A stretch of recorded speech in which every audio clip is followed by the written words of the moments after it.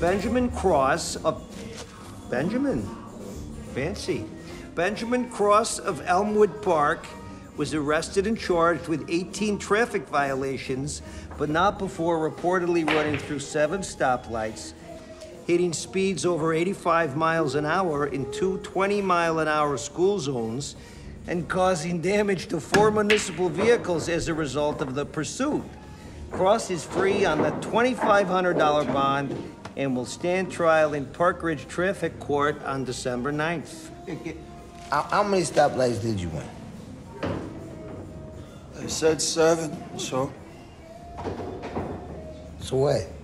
so I guess that's the number. But it felt like more.